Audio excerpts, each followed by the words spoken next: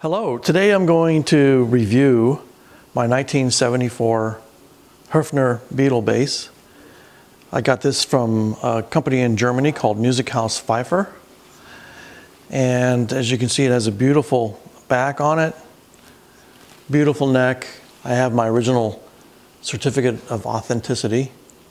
And I, I, I bought this in 1974 new, and it's been a pretty great bass and I'll um, talk a little bit about it. It's a true hollow body bass. Of course, it's like Paul McCartney made famous. You'll see cracks along here, along here, and on both sides, and that's because it's a hollow body. And from what I understand, that's a common problem with these as they age. So um, it has a nice um, German spruce body and um, it has a very thin neck with binding on it, very nicely made. The build quality was pretty good.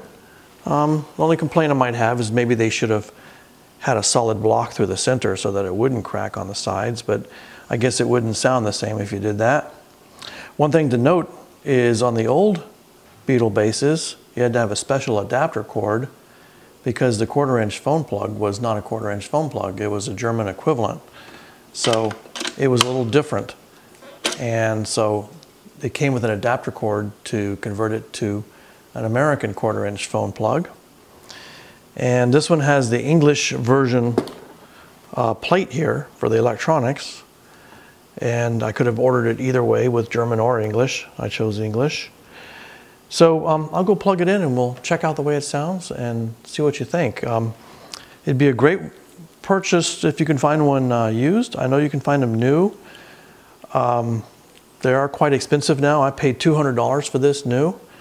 And now I think they're a, a little over $2,000. I'm not sure. I haven't priced one in a long time. So uh, again, I'll play it and let you hear how it sounds. Okay, so this um, Beatle bass, or the Höfner violin bass, it has kind of a little more plunky or clear sound than a lot of other basses. I guess it's because of the hollow body nature of the guitar and maybe the way the pickups are made. And but overall, it sounds like any other bass. Um, really, nothing super special about it.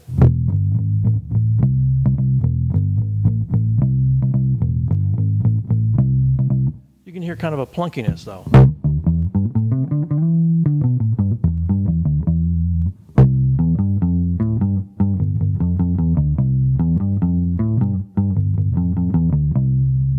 So a lot of it has to do with the amp settings. On mine, I just have it set to flat, so you could hear what the instrument sounds like flat, and it's recorded through a Electro-Voice PL20 microphone. So um, it, again, it's just um, not significantly different than any other bass, except that it's extremely lightweight and easy to play, and the neck is very, very narrow and thin. So um, I'll play a couple other things, and then you can decide for yourself if you'd maybe like to go buy one.